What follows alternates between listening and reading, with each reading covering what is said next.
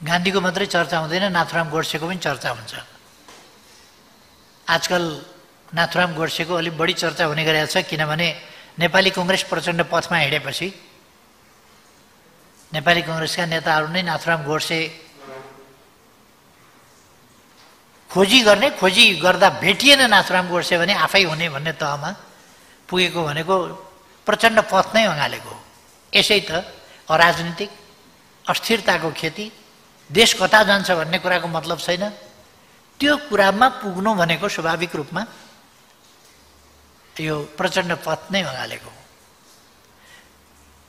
प्रचण्ड पथ यति व्याप्त अहिले भइसक्यो नेपाली कङ्ग्रेसले अँगालेपछि त्यसलाई आफ्नो मार्गदर्शक सिद्धान्त कङ्ग्रेसले बनाएपछि अहिले प्रचण्ड पद सुप्रिम कोर्टमा पनि चर्चा हुन्छ। फ्रान्स र बेलायतका राजाहरू किन काटिन्थे भन्दा अहिलेको राष्ट्रपति र प्रधानमन्त्रीले गरे जस्तै गर्दा रहेछन् र पो काटिँदो रहेछ। अथवा अहिलेका राष्ट्रपति र प्रधानमन्त्रीलाई पनि काट्नुपर्छ। यो कुरा त सर्वोच्च अदालतमा प्रचण्डका एकजना कार्यकर्ताले त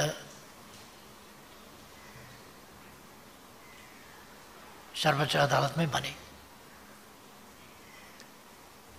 नेपाली कङ्ग्रेसका कार्यकर्ताले नाथुराम गोडसे मै भन्छु अर्को ठाउँमा भने आश्चर्य लाग्छ सर्वोच्च अदालतले हिंसालाई यस्तो द्रुत्साहन गर्ने वक्तव्य दिँदा रोक्ने काम गरेको पाइएन।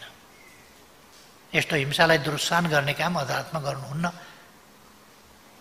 अथवा विद्वान अधिवक्ताजी तपाईँ आफ्नो वक्तव्य सम्हालेर राख्नुहोस्। सम्हालिएर राख्नुहोस्। भनेर के न्यायमूर्तिहरूले त्यो सुझाव पनि राख्न सक्नुहुन्न र